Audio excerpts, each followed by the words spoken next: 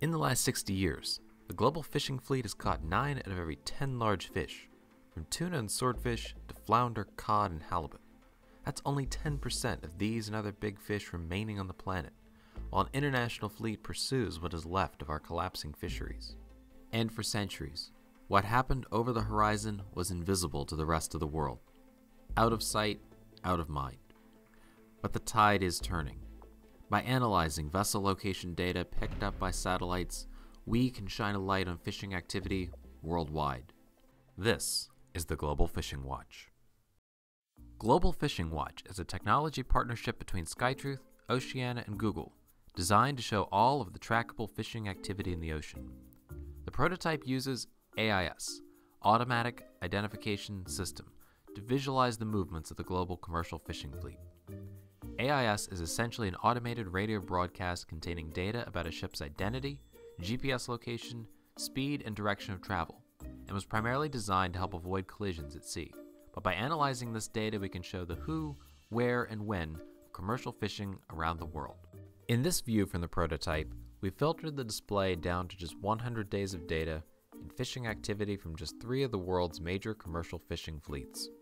Fishing activity from Spanish vessels is displayed in blue, the Japanese fleet in green, and the Korean fleet in red. One thing you'll observe is that while there is some overlap, vessels from these three flag states generally appear to operate in different parts of the ocean. Compiling the straightforward visualization from individual AIS records would be extremely tedious, but with Global Fishing Watch, it takes only seconds. Here's another example South Georgia and the South Sandwich Islands.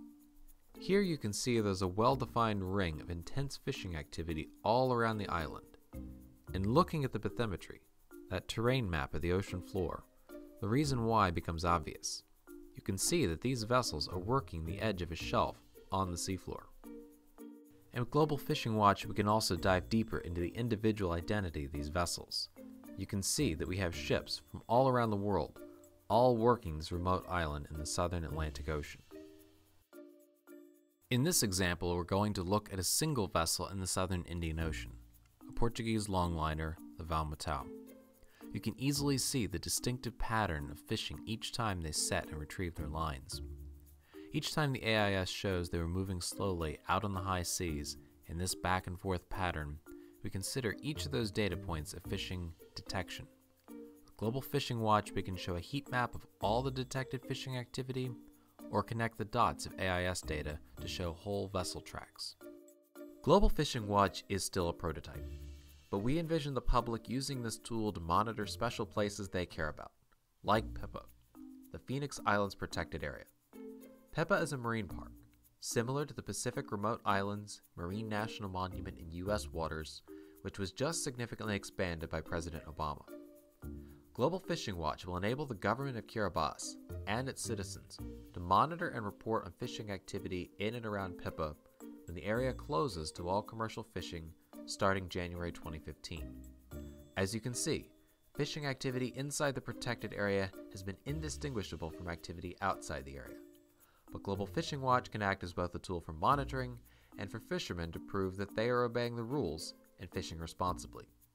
Combined with near real time satellite data, Global Fishing Watch will make fishing activity more transparent, help citizens and governments better protect their fisheries, and even aid in identifying illegal fishing. Visit globalfishingwatch.org for more information and tell us how you would use this tool to help restore a thriving ocean.